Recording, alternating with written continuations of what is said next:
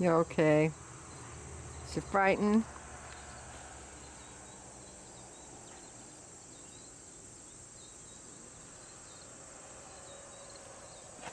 You guys get frightened by the dynamite? I know. It shouldn't be this way.